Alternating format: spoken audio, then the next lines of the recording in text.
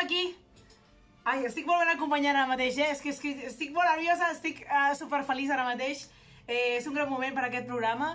Tenim uh, aquí amb l'Elisabeth Cruz a una convidada molt, molt especial. Brigitte Convidada Basallo. d'honor, convidada premium. Sí, sí, sí. Brigitte Basallo, què tal? Com estàs? Pues, Bona tarda. encantadíssima d'estar a la Sabionda, que és com el meu programa de referència, ja ho sabeu, ja ho he dit en públic, en privat, 50.000 vegades, dic ara estic aquí a veure si estic a l'alçada. Oh, no, si Que nosaltres pressió. estem a l'alçada. Mare meva, és que solo faltaria. Uf. Bueno, això, el que diu la Rocío, que és un honor tenir-te aquí. De fet, per les poques persones que no et coneguin, cosa, cosa que dubto, la Brigitte és periodista, escriptora, feminista, però ella a més es considera xarnega, que és lo importante de la sabionda. Aquí somos charnegos tots. Sí, de fet, jo Ah, crec que em va... Ah, perdó, perdó, segueix, segueix, perdó. Bueno, res, perdona, estava fent una mini introducció per fer veure que sóc jo també periodista i que sé organitzar la meva informació. Eh, ha viscut al Marroc i ha escrit diversos llibres, entre els quals destaquen Porno burca, Pensamiento monógamo, Terror poliamoroso, Amor i del que parlarem avui, que és Lenguaje inclusivo i Exclusió de classe. Benvinguda, Brigitte. Moltes gràcies, moltes gràcies. Ja em llançava a dir-vos que jo crec que us vaig eh, trobar perquè pel tema de la xarnegó, no? que en devia de, de sortir com una alarma de Google perquè vosaltres us definiu xarnega doblemente. I jo recordo que estava en un viatge, estava en un transport i havia com de desconnectar el mòbil i era en plan, no, que jo vull escoltar aquesta gent, pareu, pareu, pareu. Eh, en viatge així amb tota l'ansietat de veure qui són aquestes xarnegassas doblemente, a veure què passa. Sí. Ens estimem molt la nostra terra i les nostres arrels, tot i que ara vis visquem a Barcelona, nosaltres, nosaltres som del Baix Jo. O sigui, Sí, que... sí. Meravella. Sí, sí. Doncs bé, el que dèiem, acabes, ara en breus publicaràs un llibre que es diu, es titula eh, Lenguaje inclusivo i exclusió de classe i per les persones que potser no estiguin eh, al cas de què vol dir la, el llenguatge inclusivo, tu ens podries donar 5 cèntims i explicar-nos una mica en què consisteix això? Perquè potser a mi em passava que jo coneixia com a llenguatge inclusivo tot allò del llenguatge no sexista, parlar molt amb la E, però tu en el teu llibre parles d'alguna cosa que va més enllà. Sí, així, per dir-ho a lo bruto, eh? com a mi m'agrada, efectivament, el llenguatge eh, inclusiu, llenguatge no sexista, llenguatge de gènere, tot això són com mm, denominacions diferents i que tenen genealogies diferents, però que, que van cap al mateix costat i que refereix al fet, eh, primer, de que parlem amb un masculí genèric, que de fet és universal, i que això és problemàtic, té conseqüències amb la realitat, etc. I que després també es va ampliant no? i es va complexitzant, es va fent més, més complex el tema de, del llenguatge inclusiu. Llavors, eh, bueno, a mi m'ha passat una cosa, que és que jo escric molt a poc a poc, però amb el llibre ante anterior, amb el terror poliamoroso, vaig fer com un tap, o sigui, el terror poliamoroso va ser la meva única i més mm, brutal relació monògama de la meva vida.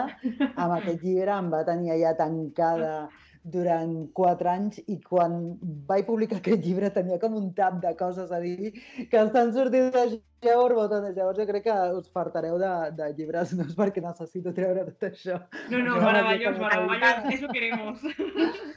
Llavors, el tema de, del llenguatge genèric creuat amb l'exclusió de classe, no? O sigui, m'interessava veure què ens està passant o què està passant amb el llenguatge, o sigui, com tot aquest esforç polític que estem fent perquè el llenguatge no contingui tanta violència o per sentir-nos més incloses en el discurs i en les narratives, etc, com al mateix temps es creua, inevitablement, no perquè nosaltres ho vulguem, no? sinó que es creua eh, pels sistemes socials en els que vivim. No? I un d'ells, que és el que més m'interessava, és el capitalisme de la comunicació, el capitalisme de les idees i totes aquestes coses, no?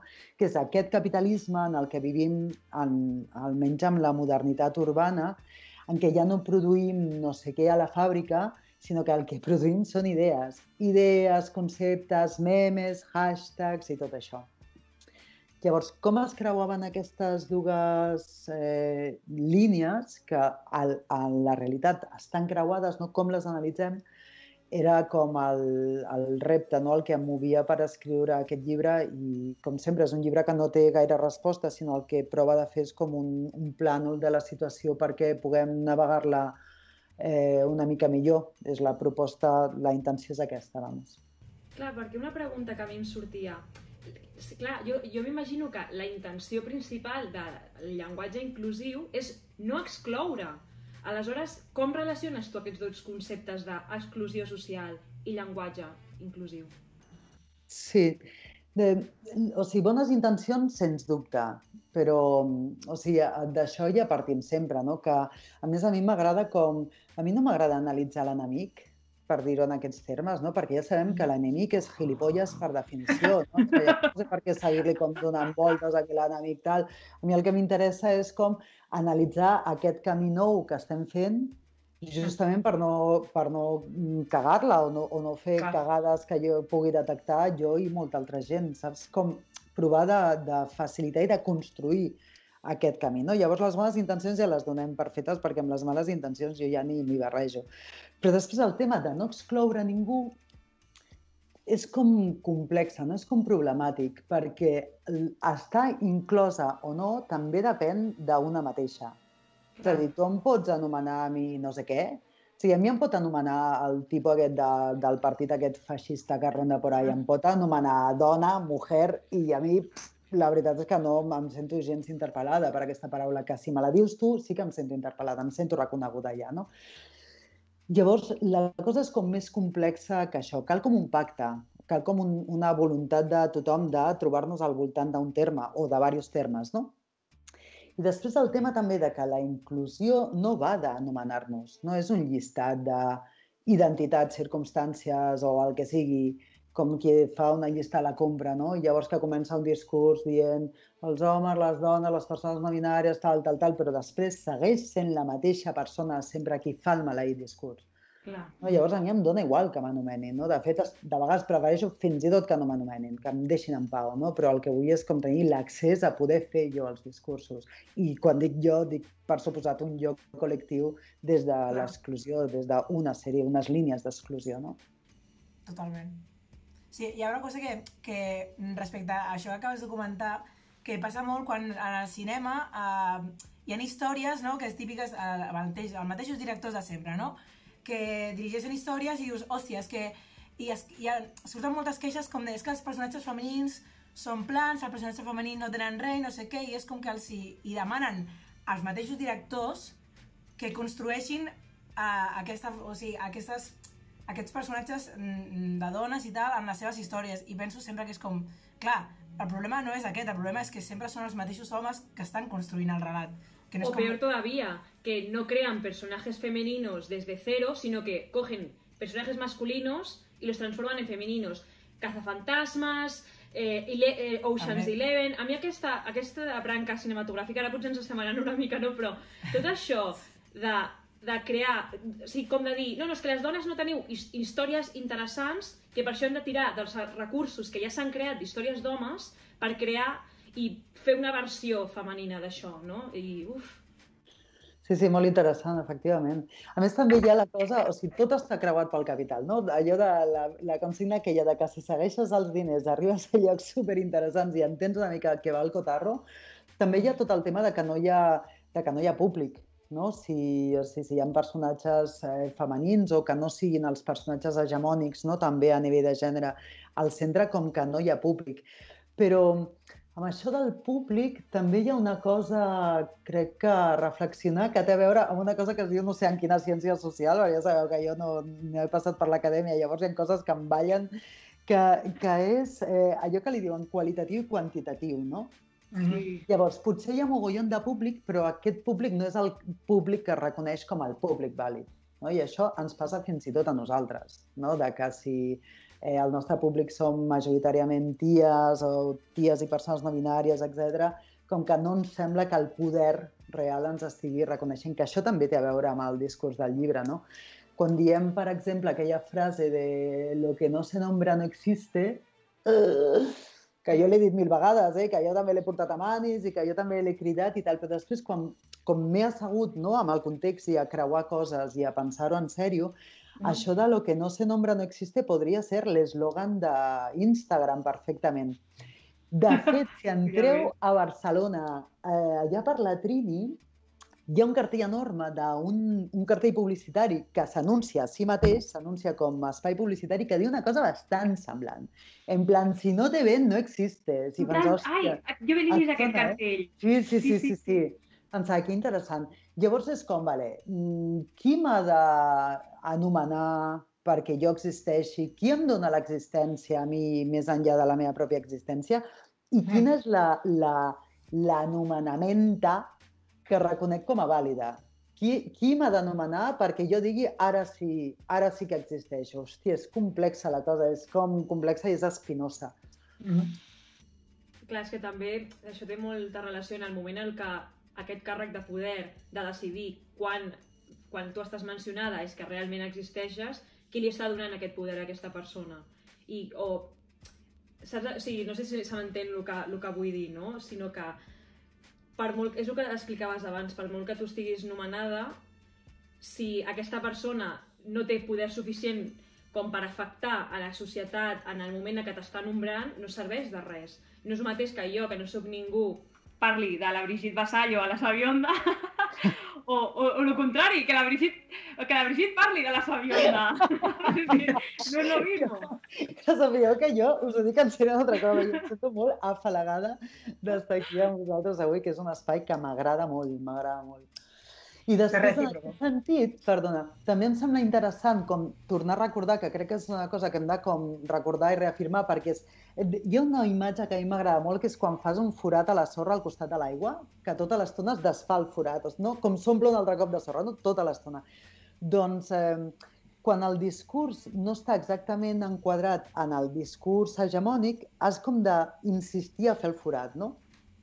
Llavors, la cosa d'un discurs no binari, que ja sé que el del no binarisme en gènere sembla que ho tenim molt currat, però després en qualsevol altra cosa ens costa mogollon. Llavors, dir tot això sobre la, la inclusivitat i sobre l'exclusió de classe, tot això, dir tot això no invalida tota la resta que s'està fent. No? És un afegir una capa més a totes les coses que s'estan fent i que totes són vàlides i que totes ens han portat cap aquí i que totes ens permeten doncs, ara ja estar pensant com es creu això amb el capitalisme, no? que no, no és excloent, no és negar la resta, sinó, hòstia, anem a sumar més, anem a sumar més coses, anem a afinar la cosa. I tu com creus que aquesta inclusivitat pot afectar positivament a la no exclusivitat social? O sigui, tu com veus quina és la solució perquè això no passi i perquè aquestes minories o subalternalitat, crec que és com tu li dius, no? Que, que se'ls escolti i que formin part d'aquesta inclusivitat. Hi ha tres coses que m'interessen d'això així de cop, no? i que he provat com de reflectir al llibre. Una és com recuperar eh, la veu subalterna com a possibilitat política. No? I en aquest sentit faig una cosa que feia molts anys que tenia ganes de fer, que és com eh, creuar el diàleg entre eh, dues filòsofes que m'agraden molt, que són la Spivak i la Segato, doncs creuar dos textos d'elles i treballar una mica eh, amb aquests, jo crec, o sigui, intentant fent accessible aquest creuament, perquè la Segato és molt ac- accessible, la Spivak és endemoniada de llegir. Però, però bueno, ahí està, no? Llavors, el tema de la veu subalterna, de no sempre el diàleg és cap al poder, o sigui, hi ha un diàleg cap al poder que necessitem perquè és el poder que ens posa la bota sobre el coll, però que, que si, si posem atenció en això, quants cops ens quedem enganxades en el poder i no ens quedem enganxades en un diàleg horitzontal que, que és molt més fructífer i molt més interessant. I us poso un exemple, no? Quan algú ens insulta, per exemple, a les xarxes, ens quedem enganxades en aquest insult durant set dies. Sí. és la cosa que està clar, de la violència, em direu, però també hi ha una cosa de poder allà, no? de com ens enganxa el poder. I això, clar, desactiva moltes possibilitats d'articulació horitzontal molt interessant. Una part del llibre que, que m'interessa molt, molt, molt, de fet li dedico tota la primera part, no? que comença amb Belén Esteban, eh, reivindicant aquesta figura no? de la Belén Esteban i a més com analitzant coses que sento dir i que també em posa una mica els pèls a punta, no? com famosa pornada, faig un recorregut una mica de com, com, a, com està recollida la seva bio a les xarxes, no? a les Wikipèdies vàries i tal, i tota l'estona referencia el rotllo que va tenir durant, què, dos anys amb un tio? Sí, sí. sí. Tota l'estona, quan, si busques a Lady Di, no es parla d'ella com a únicament a través del príncep Carles. Parla d'ella com a figura en si mateixa, que a més sí que hi ha una marca de gènere claríssima, però també hi ha una marca de classe molt clara, no? I també hi ha aquesta marca, Belén Esteban, jo crec, perquè s'ha dedicat a fer una cosa que molesta molt i que és molt interessant que molesti tant, que és que fa entreteniment, però no ho fa per les classes dominants. Perquè ja sabem que no, les que venim de pobre, no, com ho anomeno jo, nosaltres podem fer entreteniment per les classes dominants, no? Això sempre ha servit. Pues ser la musa de no sé qui. Tot això sempre ha servit, però el que fa ella és fer entreteniment per la xusma. Hòstia, això sembla que no suporti, que això no pugui ser, no? I, de fet, això se l'anomena telebasura. No sé si heu fet una ullada com està Netflix, però està pa potar. Sí, sí. En canvi, s'anomena telebasura a unes altres coses que tenen a veure amb l'estatus de classe de, dels productes i l'imaginari dels productes, no? Llavors, el que m'interessa d'això és L'ascens eh, social a nivell de capital cultural, no, que hem fet unes quantes a través de l'esforç titànic de la generació anterior, no, jo vinc d'una família que sóc la primera generació que sap llegir i escriure. O sigui, hem passat de la tradició oral, que de sobte es va anomenar analfabetisme, a que jo sigui escriptora, en una generació. I això jo crec que és el cas de molta gent, no? que ens ha passat a molta gent. Llavors, aquest esforç titànic que té a veure amb que sortim de la misèria i que té a veure amb aquella idea de que si estudies tindràs feina i una feina tranquil·la i tal, tota aquesta cosa que és que ens ha passat en, en 30 anys, com ens ha transformat.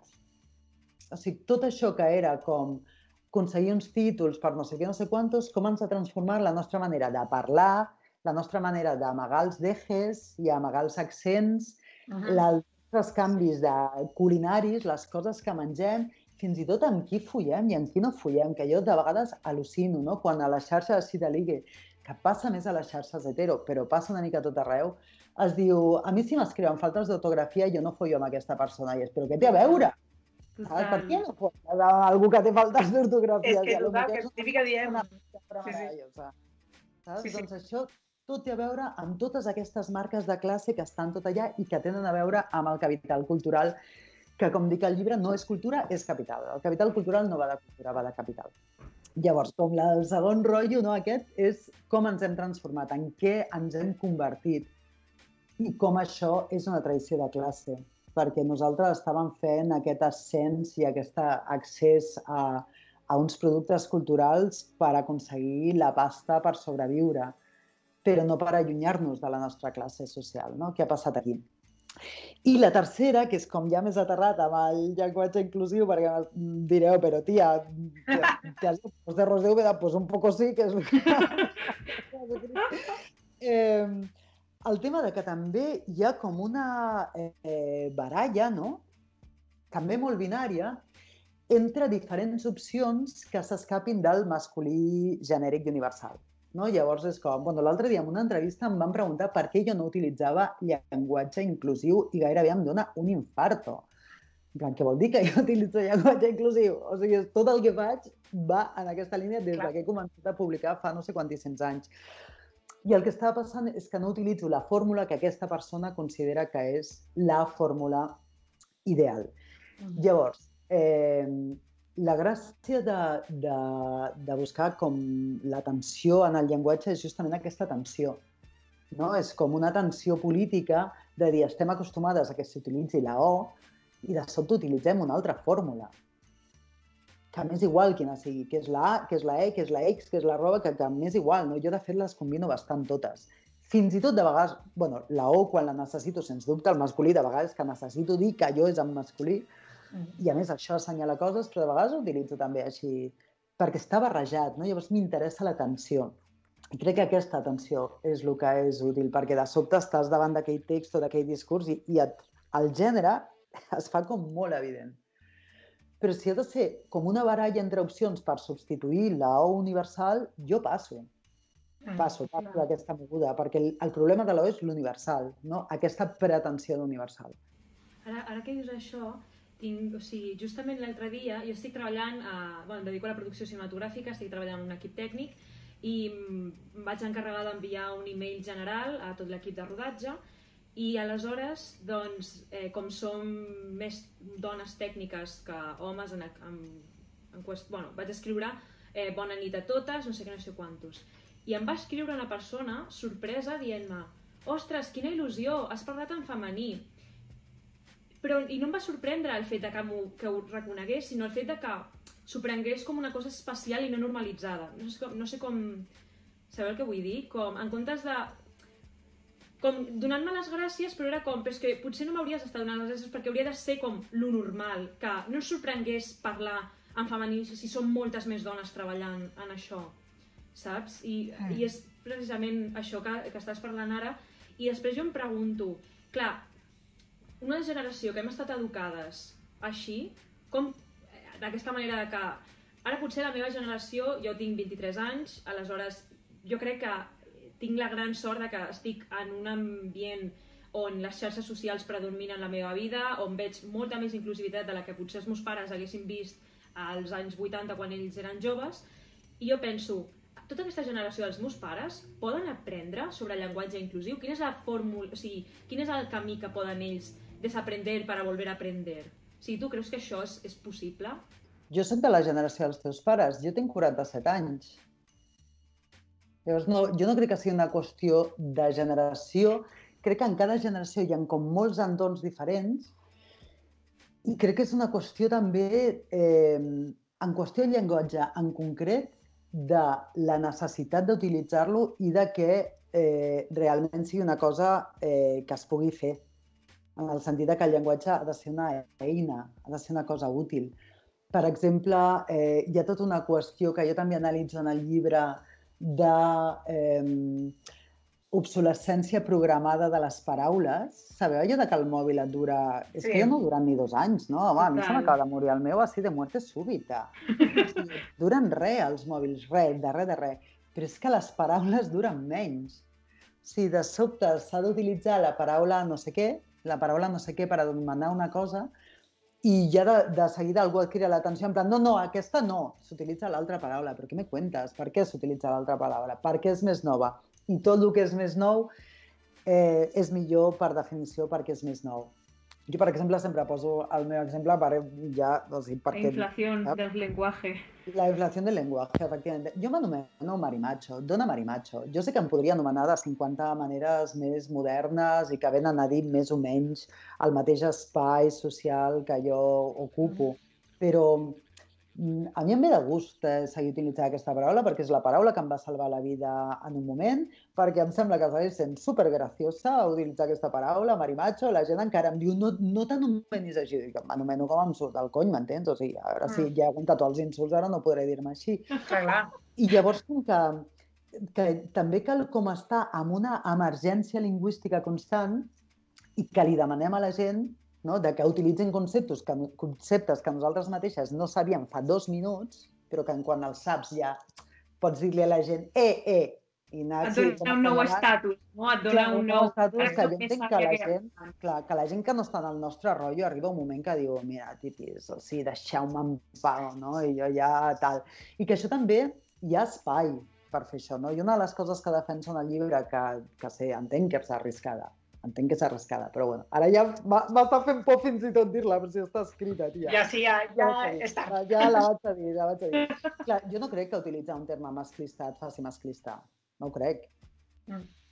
Crec que utilitzem, per, per començar, les paraules que tenim, que no són infinites, no tothom té infinits recursos lingüístics. Utilitzem el que podem i a mi el que m'interessa són les actituds mm. de la penya. I que també és això, clar, que amb el, amb el tema de de llenguatge i a l'hora de parlar també d'aquest tipus de temes, que és com hi ha aquesta pressió com de ser la perfecta feminista eh, del tema d'estar a l'última, no? d'estar com a, a l'última perquè clar, si no ja no, sé, no sóc feminista, si no estic a, amb tots els temes correctes i clar, és com una cosa, però jo m'he construït i, i m'he educat en un sistema masclista, clar, hi ha coses que se t'escapen perquè estàs com concentrada en el discurs i no tant en les paraules en aquest moment i aquesta com que a vegades hi ha debat i dius ja, però és que no és com que de sobte Eh, ha arribat l'actualització del feminisme, ens ha arribat a totes per correu, vinga, avui a totes parlem exactament igual, no? I és com, no, entre totes anem tirant cap endavant i anem com fent passes, i a vegades passa això, no?, que tu dius de, hòstia, pues aquesta paraula per mi, sobretot en el tema de, de paraules que, que en el seu moment han, han estat insults a, a la comunitat eh, i ara és com, bueno, però les hem adoptades, però també, clar, és lo típic de no és el mateix que m'ho digui jo mateixa a que m'ho digui a l'opressor, no? que és com la intenció no té res a veure. Mm. Clar, i aquí hi ha una cosa superinteressant que apuntes, que és que eh, també ens estem, jo crec que liant amb el rotllo de què signifiquen les paraules, no? En plan, no, no, és que aquesta paraula significa tal. No, no, és que aquesta paraula significa tal. Les paraules no signifiquen res, res, res de res de res. O sigui, significa el que vulguem a cada moment que signifiquin. Llavors, quan diem aquesta paraula és, per exemple, mare macho, no? Tornem. Aquesta paraula és lesbòfoba. No, aquesta paraula no és lesbòfoba, jo l'utilitzo i la utilitzo amb les meves col·legues i quan me les diuen les meves col·legues la paraula no és res, no és res. Mm. Que té una genealogia, que té un rotllo, ja, però per això està la resignificació també. I quan l'agafo jo, aquesta paraula és meva i reivindico el dret a que sigui meva i que tingui el significat que jo li estigui donant amb el context de la gent amb qui parlo, no? Mm -hmm. I al mateix temps, clar, tots aquests debats sobre el llenguatge, sens dubte, són interessants i són importants, no? Però jo faig la distinció entre interessant, important i urgent una distinció una mica així, anar per casa, eh? tampoc no ara ens pensem que ara tinc una teoria així immensa, però de vegades com, utilitzo això com per col·locar les coses, no? I aquest debat, sens, sens dubte, és important i sens dubte és interessant, però no sempre és el debat urgent. Uh -huh. Sigui, hi ha vegades que ens ajuntem per resoldre una realitat que és urgent i ens quedem enganxades per veure quina paraula utilitzem. Jo també passo. -huh. O sigui, us Exacte. Dit, o sigui, qui ho vulgui fer, em sembla fantàstic. Jo passo. Jo passo perquè crec que la realitat necessita com que ens, que ens hi fiquem, que ens arremenguem, i ens hi fiquem i ens hi arremenguem, eh? no és que no ho fem. Però mm, m'interessa veure com, es, com dialoguen aquestes situacions que estem vivint. No? I al mateix temps també hi ha una altra cosa que, que defenso al llibre, o que proposo al llibre, no és que defenso, proposo al llibre, que és que amb tot aquest tema dels conceptes, la inflació lingüística i tot això, la realitat i la veritat les hem de considerar que pertanyen a espectres totalment diferents. Això és així, no, no sé si us, us sabré explicar sense tornar-me a llegir aquesta part del llibre, però el rotllo, que totes aquestes possibilitats de veritat no, que conviuen, no, doncs la teva veritat, la meva veritat i tal, en realitat no fa que la veritat sigui múltiple, sinó que és com si estiguéssim totes pugnant per veure quina veritat és la de veritat. Mm. Mentrestant, la realitat segueix per allà com cada cop més lluny de la qüestió, no? I és, però si el, el, la qüestió era que la, la, els conceptes i, i el llenguatge fossin una eina per actuar en això, no? Clar. En el que està passant en la realitat. Llavors, com jo proposo renunciar a la veritat, almenys des dels contextos de la modernitat urbana, almenys des de Barcelona concretament, ja no, no m'atreveixo a dir més enllà, renunciar a la veritat, o sigui, renunciar, renunciar durant un temps, durant uns anys, renunciar a això. Saps? I a veure què passa, a veure si això, a veure què passa, a veure cap on anem amb això. Doncs crec que se'ns acaba el temps i em fa molta ràbia perquè això està sent super interessant, però em serveix, molt, em serveix, no, no, no, no. em serveix de pretext per convidar-te un altre dia i seguir parlant, perquè és que de veritat que jo això no vull, no vull tallar, és que, però el dia 12 surt el llibre no, de la Brigitte, 12 de març, el llenguatge inclusivo i exclusió social, que, si us plau, jo crec que tothom hauria de comprar i llegir. Si voleu saber més aquest super taula rodona, perquè no és un debat, ha estat una taula rodona que hem tingut sobre aquest tema tan, tan interessant i tan important realment avui en dia. Eh, gràcies a tot cor, Brigitte, per, per venir a parlar i de veritat estàs mega convidada perquè vinguis cada setmana si vols. Us em penedireu si diem això anem al tanto del que desitjar perquè després direu, mora meva, no, no, no. Calli, ja. En aquest, en aquest programa ens encanta estar de tertúlia i parlar i donar-li voltes i tenir més preguntes encara pel dia següent. Això ens encanta. O sigui que estarem encantades qualsevol dia que tu vinguis. Moltes gràcies, un plaer, moltes gràcies.